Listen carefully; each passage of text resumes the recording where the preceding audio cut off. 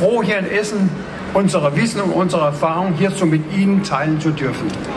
Wir Dänen möchten einen Beitrag dazu leisten, zu allen diesen Themen zu zeigen, wie eine moderne Energieversorgung in den nächsten Jahren dabei helfen wird, ihre Essener auch Lichtwochen auch in Zukunft zum Leuchten zu bringen. Somit wünsche ich allen Besuchern auch in diesem Jahr wieder tolle Lichtwochen und ich gehe davon aus, dass Essen in diesen kommenden Wochen wieder, wieder weit über das Ruhrgebiet hinaus erstrahlen wird. Vielen Dank für Ihre Aufmerksamkeit. Herzlichen Dank, Eure Exzellenz Fries Arne Petersen, der Botschafter des Königreiches Dänemark. Vielen, vielen Dank. Und als nächsten bitte ich unseren Innenminister Thomas Kocciati ans Rednerpult. Herr Kocciati, Sie sind, was die Lichtwochen angeht, ja auch ein alter Hase. Sie waren vergangenes Jahr schon dabei.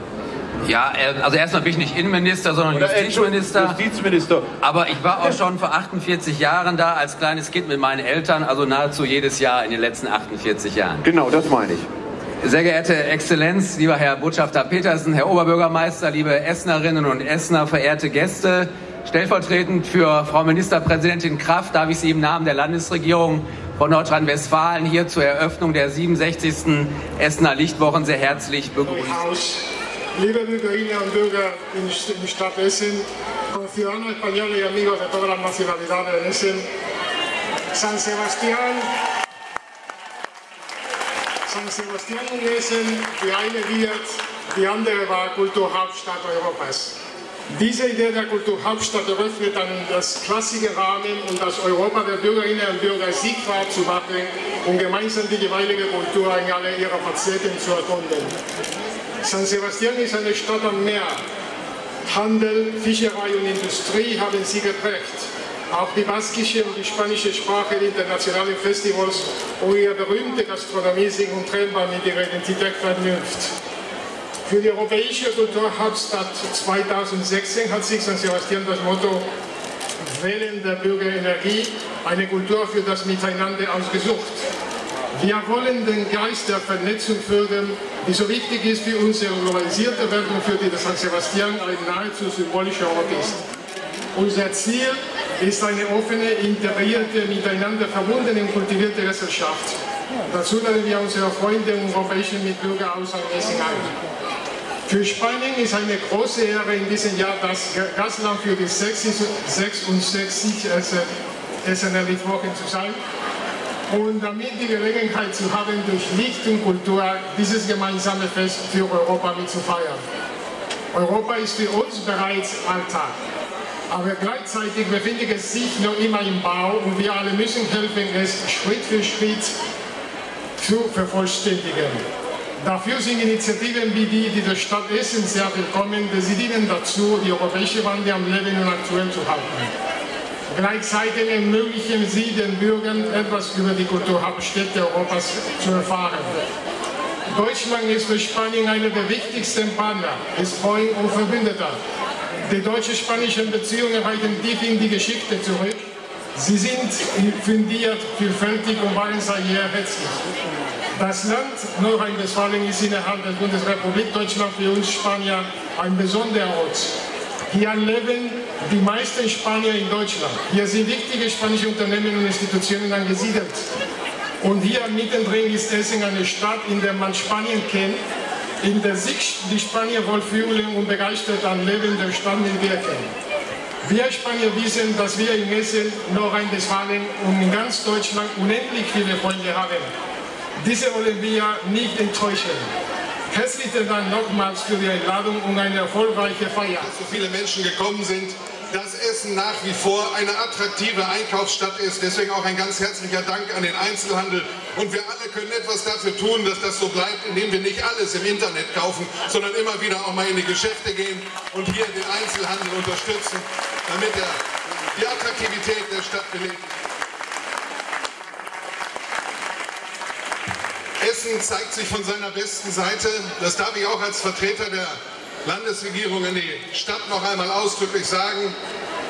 Wir alle sind in diesen Wochen sehr herausgefordert, weil viele Menschen zu uns kommen. Wir wissen nicht, wie viele es noch sein werden. Aber eines zeigt die Stadt, dass sie nämlich anpackt, dass sie diese Probleme lösen will. Und vor allen Dingen zeigen Sie als Bürgerinnen und Bürger der Stadt Essen eines, nämlich, dass Sie mit offenem Herzen auf diese Menschen zugehen. Und das ist ein ganz, ganz tolles Bild, was wir auch gerade hier in Essen in den letzten Wochen gemeinsam geben. Und das muss so bleiben, meine Damen und Herren. Und deswegen, Herr Generalkonsul, auch Ihnen ein herzliches Willkommen allen spanischen Mitbürgerinnen und Mitbürger. Wir haben ein herzliches Miteinander, die Nordrhein-Westfalen, die Essener zumal. Mit Ihnen, viele kennen Ihr Land, weil Sie dort schon mal Urlaub gemacht haben, aber auch wirtschaftlich, Sie haben es gesagt, gibt es ganz, ganz enge Beziehungen und die sollen weiter wachsen. Wir möchten, dass wir im Sinne des europäischen Geistes echte Freundschaft nicht nur, wenn schön Wetter ist, sondern auch manchmal in schwierigen Zeiten zeigen. Und dafür hilft nichts anderes, als dass Menschen zueinander kommen. Nicht nur ein paar Wichtige, die irgendwelche Ämter haben, sondern die normalen Bürgerinnen und Bürger aus Deutschland, aus Essen und aus Spanien, die zeigen, dass es gelebte Völkerverständigung und Freundschaft gibt. Und dafür, Herr Generalkonsul, ganz, ganz herzlichen Dank. Denn Sie leisten ganz persönlich einen großen Beitrag dazu.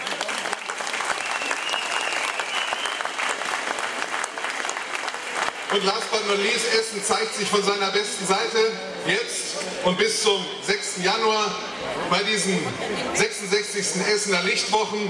Das ist für jemanden, der das eben noch nicht 66 Jahre lang kennt, Sie auch noch nicht erkufen. Ne? So alt sind Sie noch nicht. Ist das etwas ganz, ganz Besonderes, auch dann einmal dabei zu sein, zu dürfen, wenn das Ganze eröffnet wird. Ich freue mich, dass äh, RWE und viele andere, die dabei äh, mitgeholfen haben, diese Unterstützung uns zuteil werden lassen. Das ist äh, gelebte Verantwortung, unternehmerische Verantwortung und soziales Engagement, denn das macht diese Stadt und damit das gesamte Ruhrgebiet und damit Nordrhein-Westfalen zu einem attraktiven Ort und das soll auch in Zukunft so bleiben. Herzlich willkommen zu den 66. Essener Lichtwochen. Vielen Dank. Vielen Dank. Seit 1950 ist Verlass auf die RWE Deutschland AG. Die Essener Lichtwochen würden nicht existieren, wenn sie nicht da wären. Und deshalb bitte ich Sie jetzt, Herr Dr. Neuhaus, ein paar Worte zu sprechen, der Vorsitzende der RWE Deutschland AG. Ja, sehr geehrter Oberbürgermeister Kuchen, sehr geehrter Mr. Düden, Herr Generalkonsul. Es ist mir jedes Jahr eine große Freude, das Schönste in Essen zu eröffnen, was es in der Vorweihnachtszeit gibt. Und das sind die Essener Lichtwochen.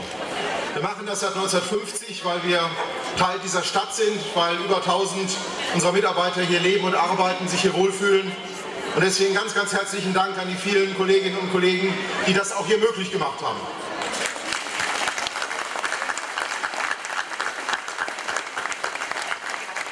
Wenn man in der heutigen Zeit Strom produziert, dann freut man sich natürlich ganz besonders, wenn man die schönste Form, wie man Strom zeigen kann, auch hier in der Vorweihnachtszeit präsentieren kann. Und das ist Licht. Was wäre die Welt ohne Licht? Was wäre Essen ohne die Essener Lichtwochen?